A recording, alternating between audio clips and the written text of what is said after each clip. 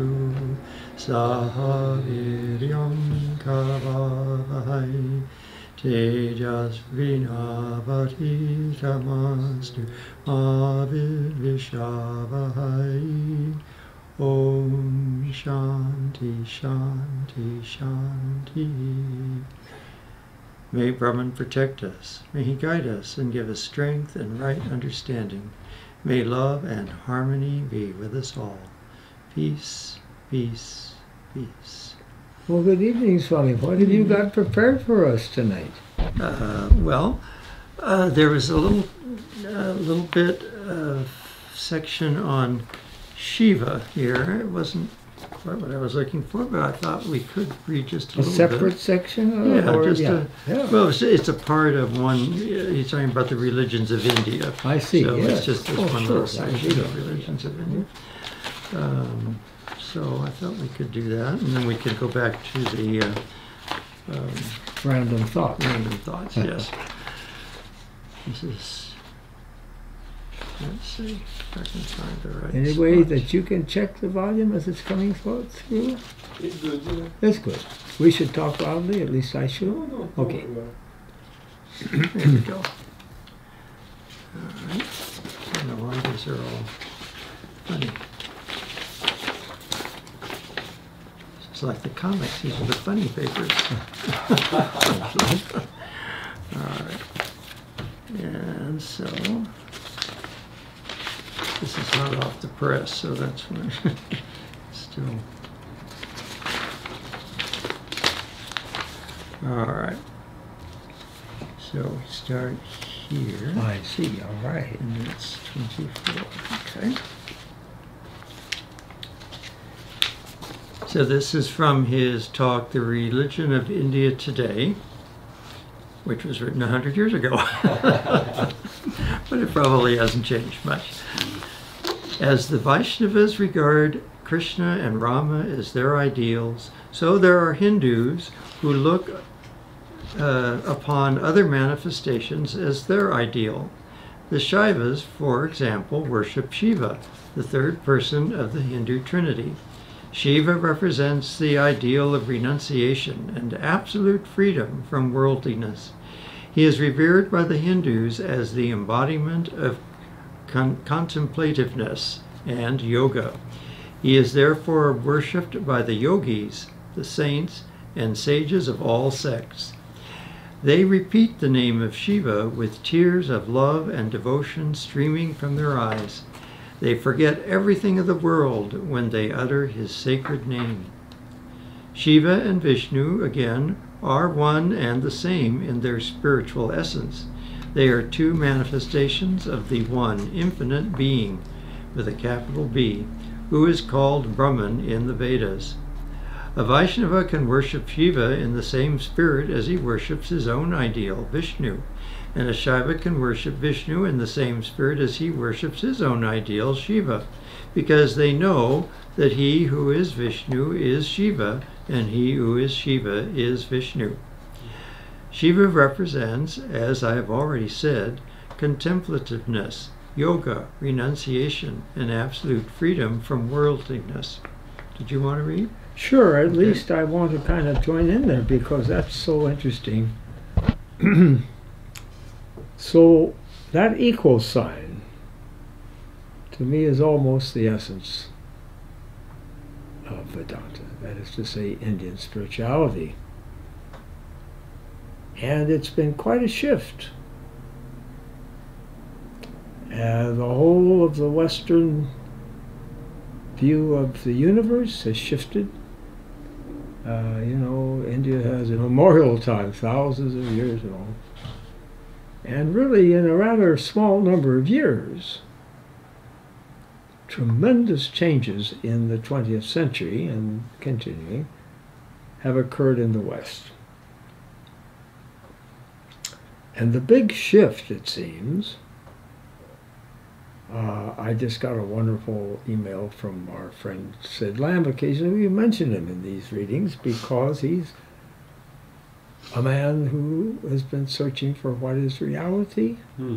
and now he's becoming deeply mystical. Hmm. and he wants to write a book. And we said back, back a ways, look, we're not going to interfere with your book because this is your contribution, said roommate, you know, in college and all. This is your contribution to the dialogue, to the, the community of discourse of the moment. But if you'd like to know what Vedanta says about some of these things you're interested in, we could talk about that, see? So that we don't interfere. And he loved it. And Swami Abhedananda, just a couple of evenings ago, Friday evening ago, came to what I would call the summation, the synthesis. Starting out at the beginning with the three states of consciousness in the West, and coming in with this cascading, overflowing waterfall Mhm. of super consciousness, the gift of the East. And the timing was kind of like exquisite. So he sent me a couple of uh, chapters today. He sent it morning. And it's just a, it's a, it's a splendid book. So I have that in my mind. Now, what happens is it even can happen to us that this equal sign, which is naturally the outcome of a religion which speaks of the one shining infinity, carries right through. So we talk about Satchitananda, existence, consciousness, and bliss. You could call it a change in the perception of reality in the West. And so, for example, existence used to be thought of not that many years ago through our friends Isaac Newton and Descartes, people like that, who saw the whole cosmos as a machine, very well put together clock. Uh, God started it and it's going to run fine, so he can sort of stand back and watch it. of material, hard objects. And then all of a sudden Einstein comes along, does he not, and says E, capital E. The only thing in the equation is E. Big. Equals mc squared. And he calls it that equation in which mass, or matter we could say, dropped out as a principle of physics in 1905. So all of a sudden, there's nothing but energy which means there's swirls, little vortices of events, of experiences, because Whitehead says in the inside, energy is seen as experience. So the things that count in our life are the events, that are the experiences, because that's what we are. Swirl of matter, yeah, you could talk matter, but it's just congealed energy. And matter even has a place in the mental world, according to Vedanta. It's all very exciting. But existence, which used to be a solid hard rock of an object, is now energy. And if you have big E existence and you have an arrow going this way, the next one is consciousness. Reality, which used to be thought of, has now become consciousness. And this consciousness uh, pre-exists the emanations in the outside world just as surely as every skyscraper has a blueprint mind first and then the event you see comes out like so the existence as an Arabic of consciousness reality has now become consciousness and it only occurred to me frankly just a few weeks mm. ago that you can continue that arrow from consciousness to bliss. What is the state of consciousness in the higher levels of realization? It's joy.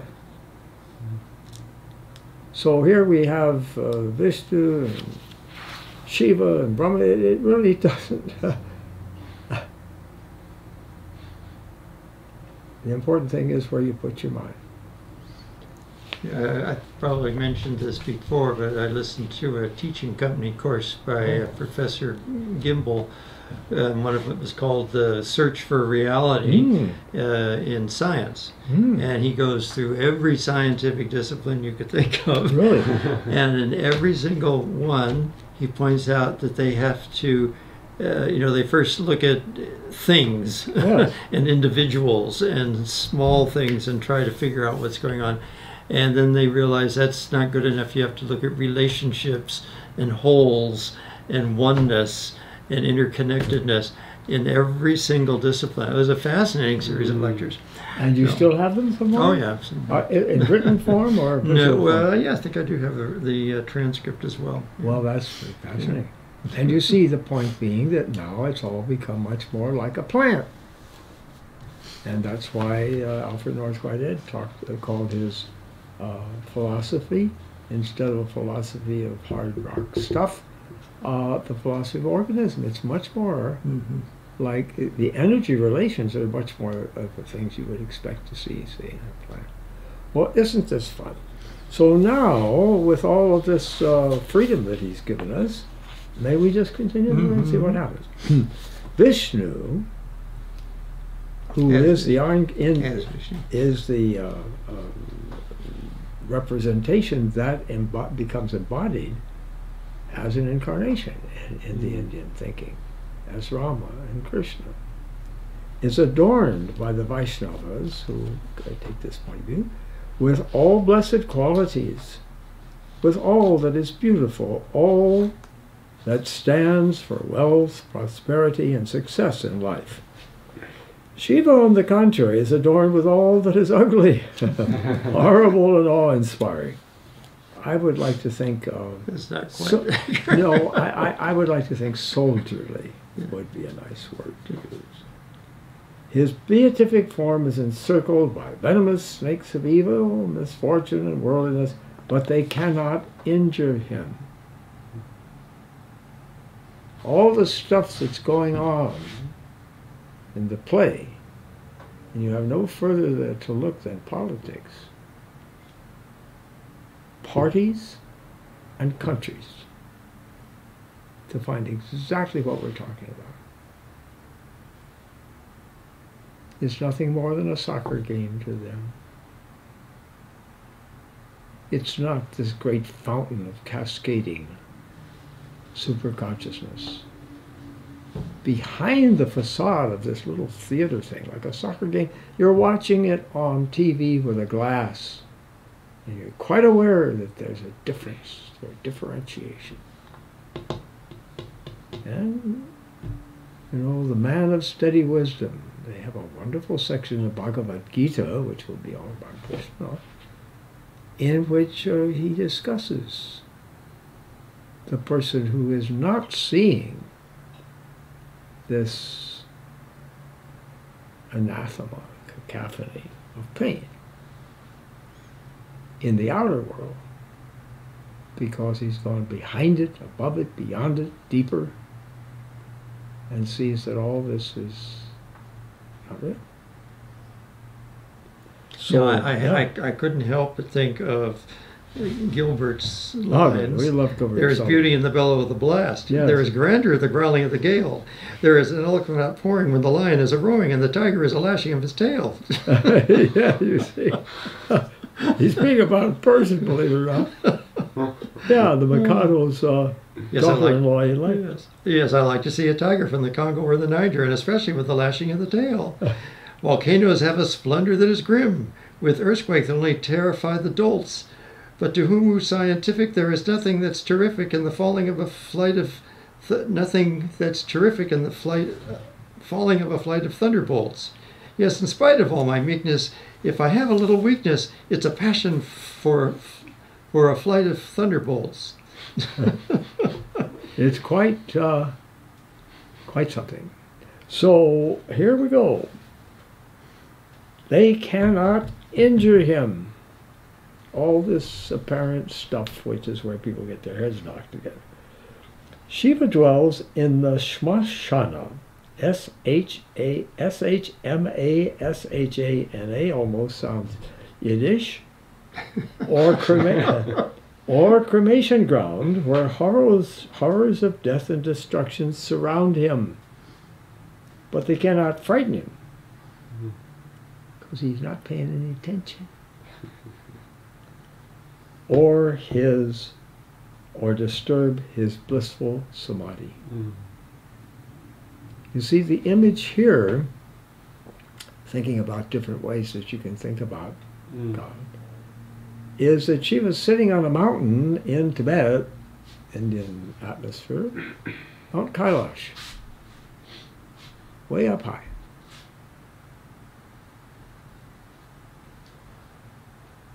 And it's so high that you say, you can say, I like to say that you could just, the stars are big and bright, like in Texas, you know, at night, big and bright.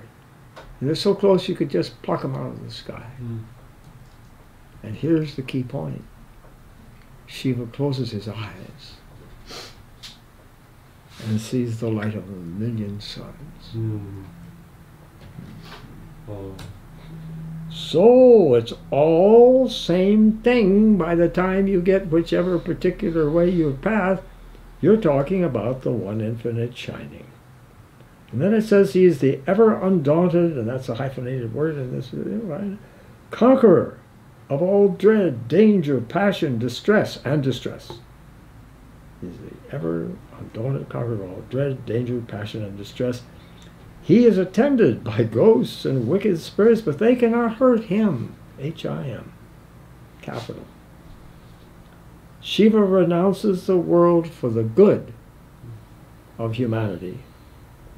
Voluntarily takes upon himself the burdens, anxieties, sufferings, and pains of all humanity and swallows, doesn't quite swallow, just holds it in his throat, the deadliest poison to bestow immortality upon his earnest followers and true devotees.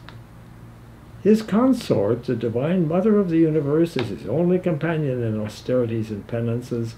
He lives where nobody cares to go, and he accepts the tiger skin and ashes as his ornaments. He is the ideal of the yogis, that's the meditating folks. If anyone wishes to see and understand what renunciation means, let me go to India and study the worship of Shiva. Shivaratri is coming up soon. I think that's why Swami is interested in this. Yeah. He has, he has many forms, many incarnations. That's interesting. I know of only one. Mm. And some people feel that's Ramakrishna. That's Ramakrishna is because we're Shaivites, uh, rather than an incarnation of Vishnu, an incarnation of Shiva. Nevertheless, and there are many symbols connected with his life. The Shaivas, followers of Shiva, worship the snow white form of Shiva covered with ash, with snow, sitting in snow, which symbolizes purity and freedom from all taint of worldliness, the form of Him, capital H, who is the master of the universe. Capital M, Shiva can be worshipped under all circumstances. If a follower of Shiva cannot find a temple, he may sit under a tree. He does not need any form, statue, or symbol. He simply closes his eyes. You want to fix that? Want to correct it? Simply Oh. and meditates upon Shiva as the Lord of the universe, beyond good and evil, beyond all relativity. Ah, Mm. Einstein. Beyond all relativity, that means the world, the phenomenal universe, the outer world, space, time, and causation. The embodiment of the infinite and absolute being, capital B. Why don't you start, buddy? The Vaishnavas and Shaivas, as we mm-hmm. have just seen, regard the Lord of the universe as masculine and give him masculine attributes. But there are Hindus who give, oh, well, we're already through with Shiva. All right, that's right. who gives God feminine attributes and call him the mother of the universe. Call him the mother of the universe. Mm-hmm. Okay, I think you meant her. India is, in fact, the only place in the world where God is worshipped as the mother and where all women are considered as representatives of the ideal divine motherhood. Some people think that the Hindus deny salvation to women, but no Hindu ever imagined anything so crude, I guess. On the contrary, womanhood is attributed to him by him to the Lord of the universe. Swami, I honestly think that he said that on purpose. Uh, Yeah, I guess so. Feminine, Yeah. uh, God gives God, God feminine attributes and call him, capital H, Yeah. the mother of the universe. Yeah. all right. He knows that the soul is sexless and that it manifests on the physical plane as a man or a woman only to fulfill a certain purpose in life.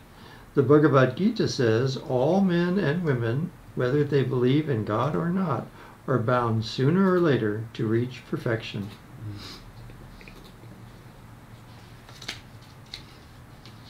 You want me to keep going? Oh, no, I, yeah, yeah, please do. yeah. Those who thus worship God as the mother are known as Shaktas, the worship uh, worshippers of Shakti, the divine energy, the mother of all phenomena. These Shaktas believe that the mother of the universe manifests her powers from time to time in human form and incarnates as a woman. These have various feminine incarnations. There are various feminine incarnations among the Hindus. These divine incarnations of Shakti or divine energy are in different forms, such as Kali, Durga, Tara, etc. Foreigners cannot understand the meaning of these symbolic figures used as aids to concentration and meditation at the time of worship, and they think how hideous these forms are. Of course, some of them are hideous to Western eyes, but to the Hindus they are spiritual symbols. For the people of India are not merely optimistic, they recognize both sides. They are brave, they do not deny the evil side of the world. They take that also and adorn the mother on the one hand with evil, murder, plague, and other horrible things, while on the other hand they represent her as overflowing with blessings and all that is good and beautiful. Those who have only optimistic ideas shut their eyes to evils and misfortunes and curse either God or Satan when these come upon them. But among the worshippers of the Divine Mother, you will find both men and women who, in times of distress, face danger bravely and pray to her with unflinching faith and wholehearted love, recognizing her grandeur and divine power even behind misfortune and calamity. About the six lines on the top, you want to fix, concentration there with a hyphen? Yeah, this is probably see it's a right. uh, it's a scan from a book that probably Oh, paged differently. Wow. Um, but I remember uh, Mhm. um, you know, Dobson uh, explaining uh, the uh, This is our the, the dual yeah the two the dual aspects of Kali. Uh, you know uh, why she she has you know she has two hands giving blessings and boons, and yet there's images of you know destruction and so forth. And he says, and he said, it's because when you see the infinitude out there, it's terrifying. When you see it in here, it's blissful. And Swami Swahananda jumped out of his seat. Said, I've never heard it like that. He just thought that was the most charming way of saying it. I, I believe, I remember, I really do, uh, that Swami Prabhavananda said that uh, uh, the, uh, the other hands are protecting Yes, the. Yeah. Well, now, uh, why don't you just finish that uh, section a little bit more? I thought it was ending with 46. A little bit more. The whole truth of the Sankhya philosophy is symbolized. Uh, Sankhya philosophy is described in a previous lecture at notes here. Is symbolized in the Shakti wor- worship or the worship of Divine Mother. You will remember that the Sankhya believes in the evolution of the world and of the whole universe out of one eternal energy, while the individual soul is known as Purusha, the infinite spirit. So Shiva represents Purusha, the formless infinite spirit, and his consort or Shakti is that eternal energy which is called in Sanskrit Prakriti. The union of the male and female principles of divinity is the beginning of cosmic evolution. I think I can pick up there for a little bit. Yeah. Here you will notice how the ultimate conclusions of science, which means a lot to us, and uh, Vivekananda, you know, these moods and modes and ways of saying things, at one point said science and truth are all the religion there is. Course, science in a way means truth. Scientia, knowledge. But the search for truth, wherever they find themselves putting around or looking, is by the same method as the spirituality of the Indian folks. That's why we like them so much. the criterion of validity, which happens to have been a term that Charles Sanders Peirce, the bedrock genius of American philosophy, which then, you know, stands on his hand William James, the founder of what has become, become called pragmatism, John Dewey, and then really Alfred North Whitehead, who says he's very indebted to William James, uh, who became the world's great summation metaphysician, saying all Western philosophy is a footnote to Plato. Alfred North Whitehead became that metaphysician when he came to Harvard to the United States. It's all very interesting.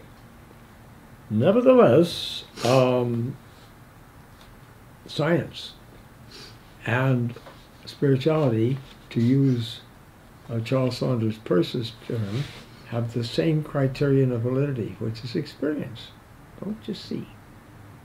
And experience, of course, we've decided is really reality that used to be called hard rock objects is now energy seen from the inside, which is experience. So he says, um, here you'll notice how the ultimate conclusions of science have been symbolized hmm, by the Hindus and made into objects of devotion and worship.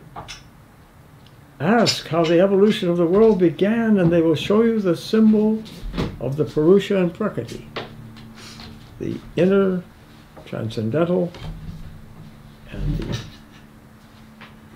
the uh, what am I trying to say? God immanent in the relative plane, which is Prakriti.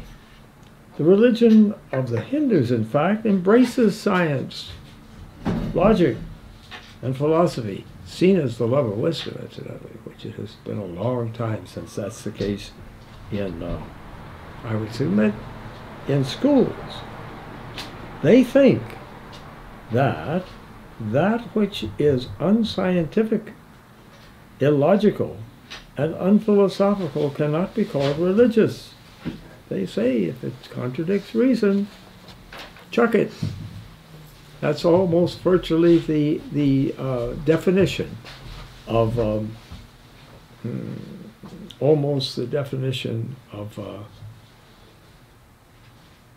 of the approach even to the scriptures of the Indian person. Ramakrishna says the scriptures are a mixture of sand and sugar. Throw away the sand. Get the part where the person was writing under the inspiration of the experience of God, the inspired experience of God. All right? So, it says they think that that is unscientific, illogical, unphilosophical cannot be called religious, so they take the scientific truths, make symbols out of them, how by E equals mc squared, and relating them to the eternal being, capital B, they use them as the most helpful objects for devotion and worship. The Hindu mind is very spiritual along spiritual, uh, very inventive. The Hindu mind says is very inventive along spiritual lines. It gives its inventive genius full play in the spiritual field.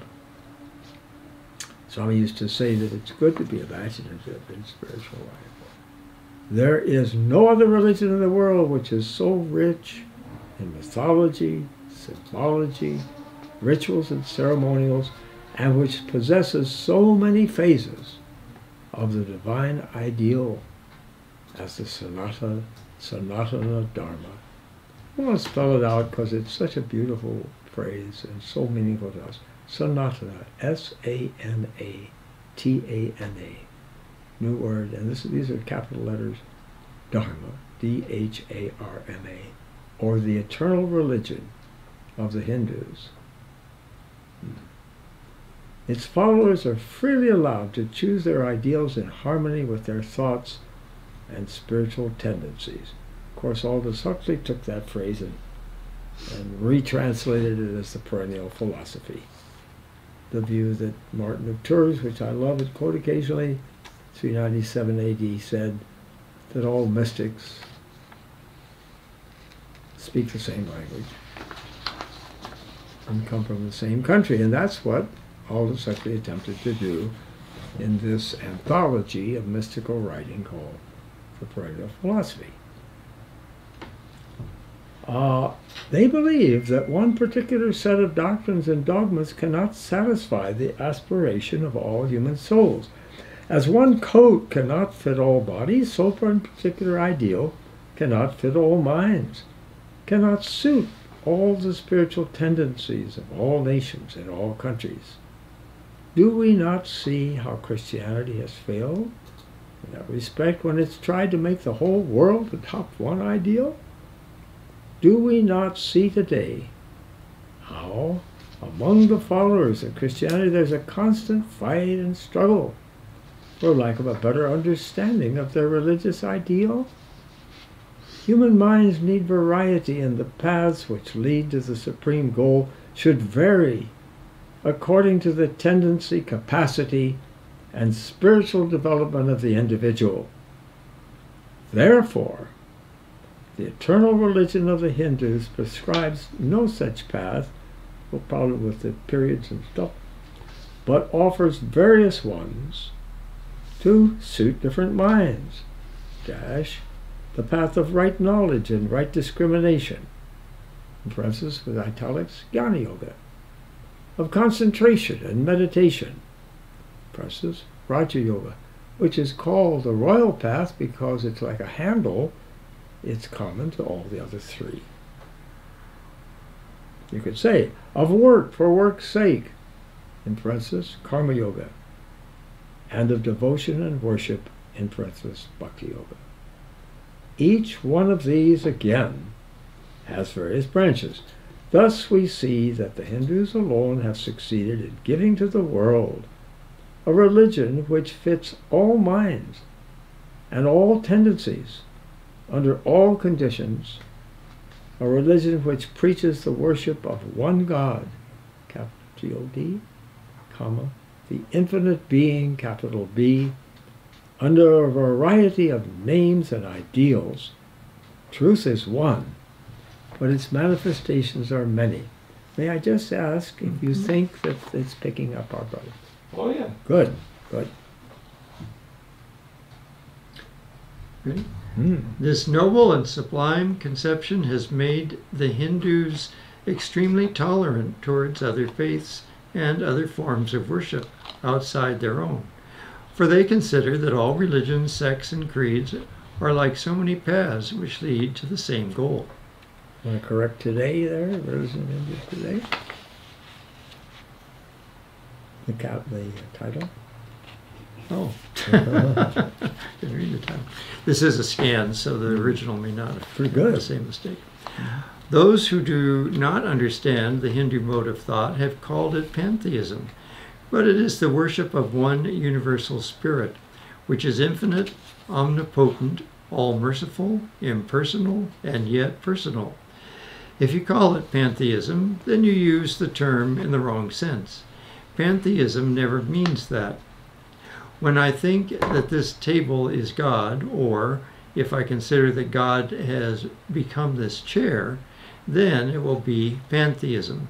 But if I believe in one God who pervades and interpenetrates the atoms and molecules of the chair and the table, or any other object of the world, then that will be the worship of the one Supreme Spirit, who is infinite and all pervading.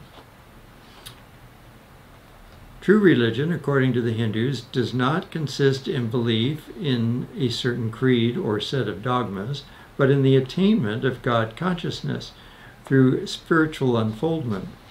It is being and becoming God. It is the subjugation of selfish love and desire for self and aggrandizement. Which is a pretty good phrase to describe the ego, isn't it? How about that? The sub of selfish love and the desire for self-aggrandizement. And it was assimilation. And the assimilation has to be of everything. And there you go. What does the billionaire want to do when he puts his feet on the bed in the morning? Get one more dollar. No it can never be attained that way. So we got we're on to something here. Yep. The attainment of God consciousness through spiritual unfoldment. It is be, being and becoming God. It is the subjugation of selfish love and desire for self aggrandizement, and the expression of divine love, truthfulness, and kindness to all. The object of such a religion is the freedom of the soul from the bondage of the world.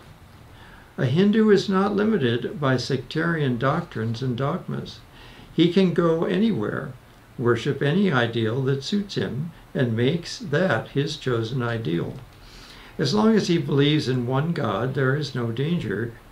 He will have salvation, and this salvation can be attained in this life. Now, while I'm going to work on that a bit, you might want to work on the line on dogmas, where there's a lot of little periods and stuff. Hmm, yeah.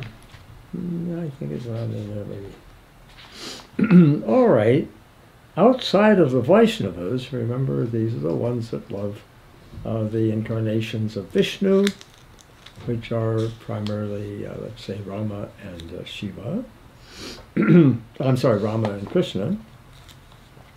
So, uh, outside of the Vaishnavas, the Shaivas and Shaktas, we find Hindus, Shiva people and, and energy people, we find Hindus who follow other phases of religion in the Punjab, the northwestern province of India. Punjab's got to be an interesting place spiritually. I'm going to be real careful not to get involved in that one right now tonight. But if you want to try to understand a lot of, what should we call it, the sociology, let's put it that way for the moment, of Indian modes of uh, worship and thinking, uh, you might do well to, if that's your interest and your inclination, to dive into the big pool of the Punjab, the northwestern province of India. For instance, there is a large population which is known as Sikhs. S-I-K-H, and they pronounce it Sikh, is derived from the Sanskrit Shishya, S-H-I-S-H-Y-A, which means a disciple. And the Sikhs are so called because they're disciples of their master Guru Nanak, who was a contemporary of Luther. That I did not know. Hmm. And what is their main tenet? The holy name of God. So you can see that we have a, a, a very large melding of community, communing between these different uh, sociological places in India where people are worshipping. Guru Nanak was a great soul. He is regarded today by his disciples and followers as the manifestation of divinity, capital D. And he left sayings and teachings. These are written out in a book. In this book, the Sikhs hold in the same light as the Christians their Bible, the Muslims their Quran, and the Orthodox Hindus their Vedas. Well, I'll let you go, buddy. You will. It is to them the revealed word of God. They put it upon an altar, burn incense before it, and worship it as the word of God. They cannot bear any other form of symbol or image, or the statue of any incarnation or manifestation of divinity. They are as fanatical as the Protestant Christians in their attitude towards forms and images. They observe no caste prejudice. They are very broad and liberal minded, and also accept the followers of any faith in their religion. At one time, they converted hundreds of Muslims and made them Sikhs. Their book is called the Granth Sahib, or the Great Scripture, and contains the most sublime moral and spiritual ideals which harmonize with the idea, uh, teachings of the Vedas. They believe in one supreme God who is formless. As the Muslims believe in Allah, the one formless being who can take no form, so these Sikhs believe in the same way. Perhaps Sikhism arose in India through the influence of Islam. It is one of the recent sects. Oh, there's no doubt about it that it this is, yeah, this is that's another thing. The, uh, this is further than I intended us to read, but that's all right. Well, all right. Okay, we're going to speak on because we got a few more minutes. What else sure. can we do? Yeah, shall we? I think we should just finish a little just bit. Just continue this. Because we're talking about uh, sure. religion in India today, uh-huh. so it's quite interesting. All right. We'll just keep going. Yeah, yeah, yeah I, I think so. Besides these Orthodox Hindus, there are Jains and Buddhists. The Jains have their own scriptures and their own prophets. Parsvanath, Adinath, Mahaviranath, and many others who are called the Tirthankaras, perfected souls. These are great and immortal spiritual leaders who came down to teach mankind. Anyone who follows their teachings will reach absolute freedom from this world of imperfection. Jainism arose in India about the same time as Buddhism. Buddha lived around 557 BC. He was the founder of the great religion which has civilized the larger portion of Asia, which predominates in China and Japan, which has made the Japanese a great nation, and which prevails today in Tibet, Siam, Burma, Ceylon, Sumatra, Java, and many other Asiatic countries. A lot of mm-hmm. uh, geographical changes since mm-hmm. he uh, gave this talk.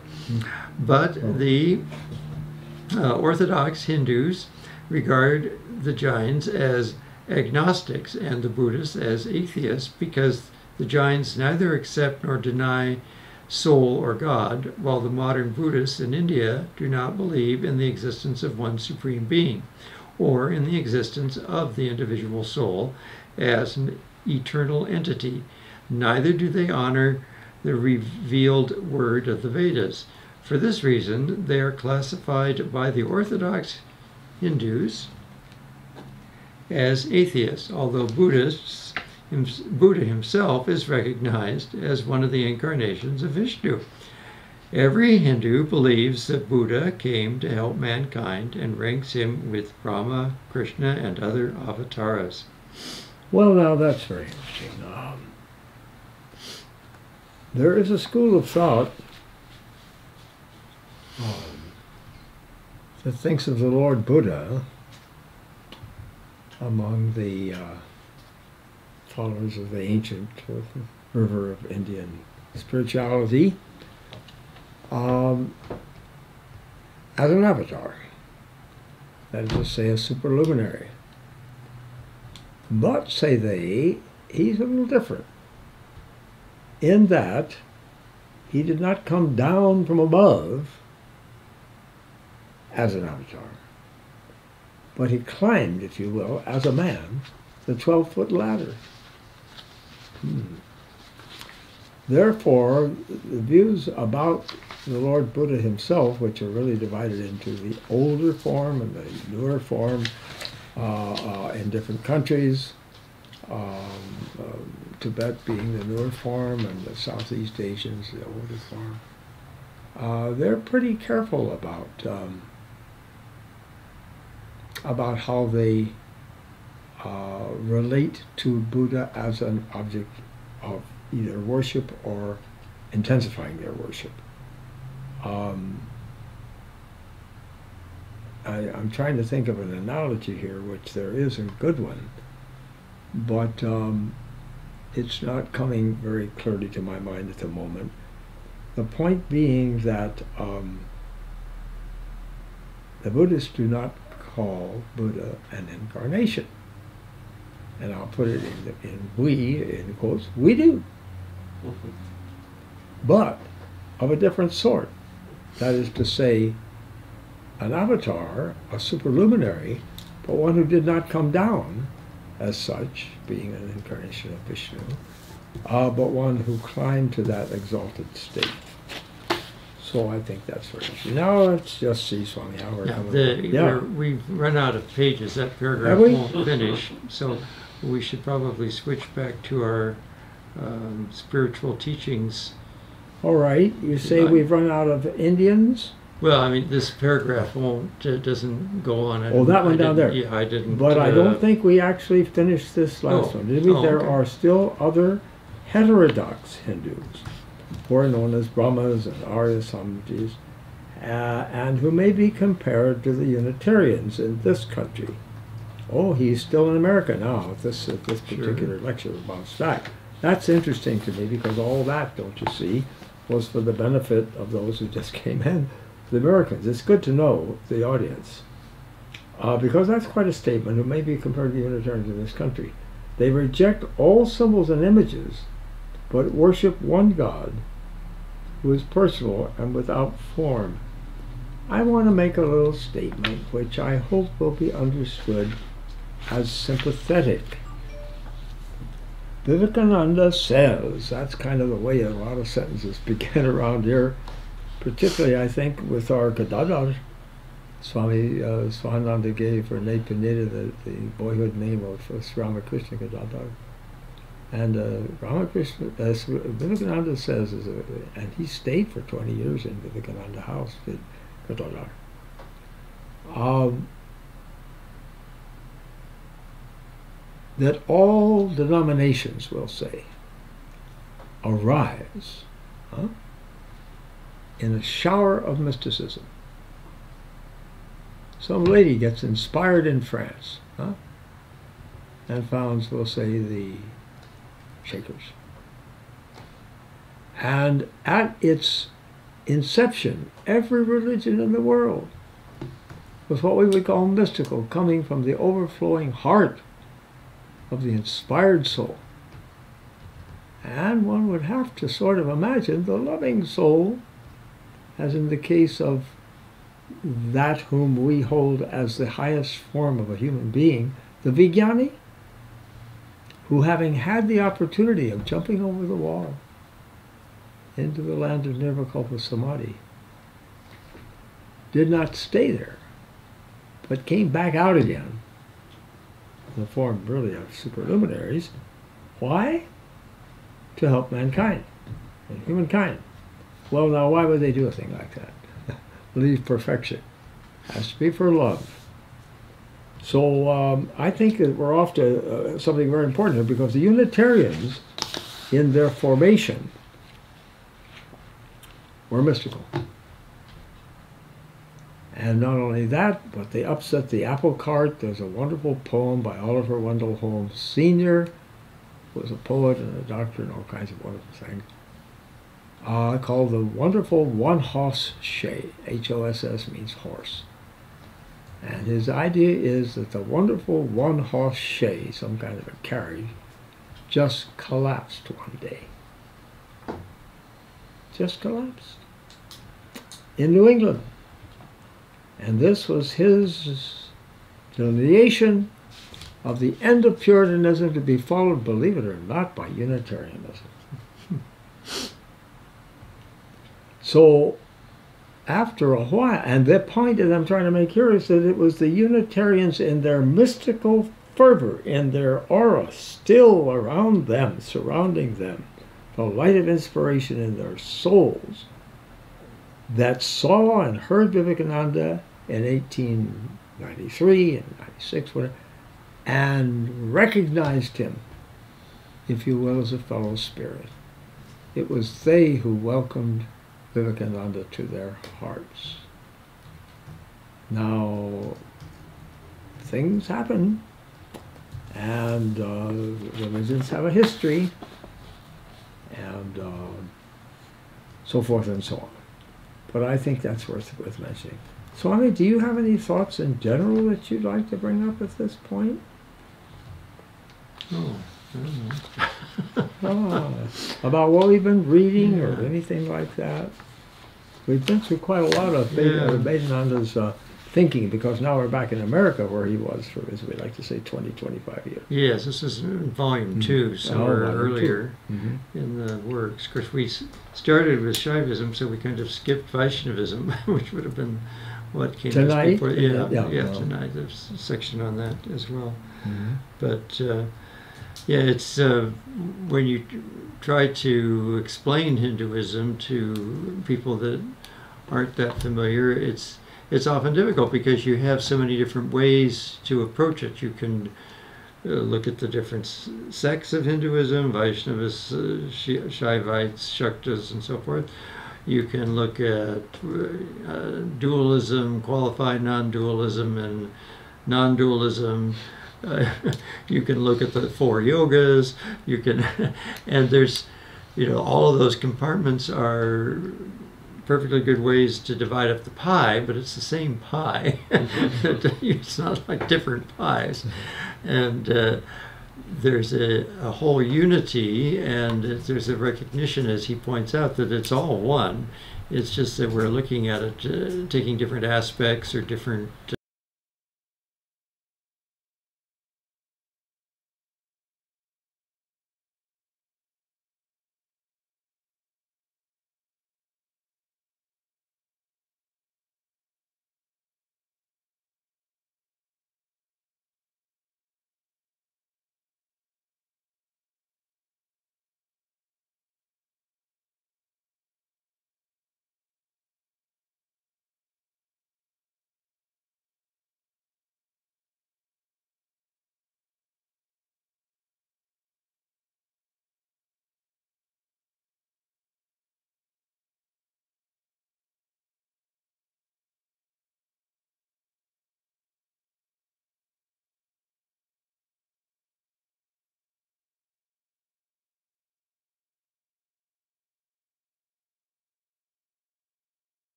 Important, I think, to understand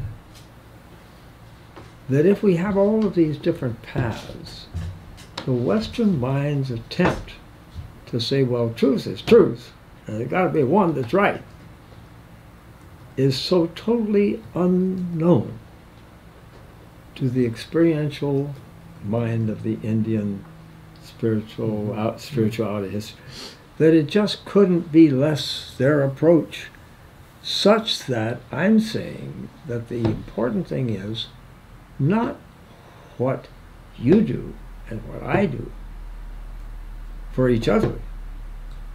It's what you do for yourself that counts. And where you are on the trail of the Advaitic approach, which is the Indian understanding that there is one shining reality, that's the point we've been trying to make recently that no matter what your portrait, and we have them all right here in, in Los Angeles, the Hollywood Center. But it's none of my business. I was saying this out, none of my business. well, another Where you are on your path, and you shouldn't be monkeying with mine. Yes, please. Yeah, that that um, uh, you know, if people are thinking of truth and that paths should, you know, there should be uh, somehow the same, but paths don't necessarily need to be the same. They're not like a theology; they're a path. They just Yes. get you somewhere. Yes. And I often say, you know, if I'm telling somebody how to get to Santa Monica, I depending on what time of day it is, and I could give them completely opposite directions. I could say, go south on the 101, Yeah. and then south on the 110, and then west on the 10. Or I could say, go north on the 101. And if Very nice. And it, they sound like completely contradictory uh, advice. Why would you tell one person to go south on the 101 and the other person to go north on the 101? Well, because the traffic's better this time of day if you go to the north on the 101 instead of the south. But eventually you'll get to Santa Monica. You just have to take another freeway. But uh, so you can't take you know a step by step approach of this path and look at this path and take their step by step approach and think, well, step one ought to match step one. Well, It's not going to match step I, one. I love that. And it seems that there are a couple of things that come to mind. There was a fellow named Korzybski, big mouthful, and he was the founder of the Semantic Society, which is not really philosophy, but by golly, it has weight. And he would say things like, the map is not the country. Mhm. So, because it's experiential, you see. And the other thing, if I can just, I hope I don't lose that one too, because you're right on. Um, if if we're talking about getting there, what is better than the model of an Indian family? Now, this is actually the case where the wife may have a chosen ideal,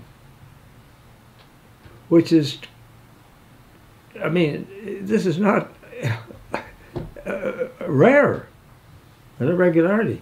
And the husband may have a totally different chosen ideal. And the fun part is they may not even know what it is. so theoretically, one could be a Christian, one could be a Buddhist, and it'd be just dandy. So the point is the most precious thing in the world is the other person's place on her and his path. Do you see where we're headed?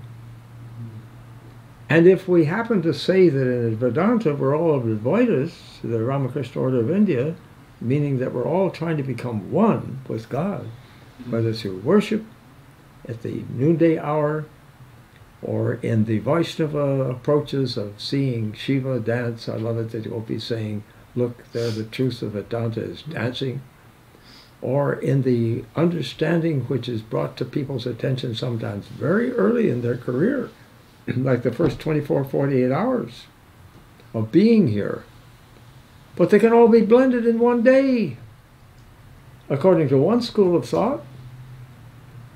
And it's just a desecration for anybody to come, and it still can happen, and say, My way or the highway, my way's the best way, and start looking down the nose. When actually it's so much not one of our business that we shouldn't even know, have to know, what the path of another man or woman is. But in that fellowship, that divine communion, we can all find our place. Swami? I think we're, we're ready for oh. our Oh. sign off.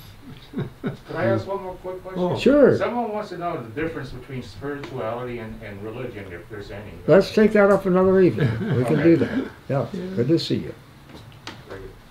So may we bid you uh, farewell out there in Radio Land? Yeah, TV? we'll give our closing chant. I know. Om Purnamada Purnamidam Purnat Purnamudachyate Purnasya Purnamadaya Purnamevavashishyate Om Shanti Shanti Shanti Filled with Brahman are the things we see, filled with Brahman are the things we see not. From out of Brahman floweth all that is, from Brahman all, yet is it still the same.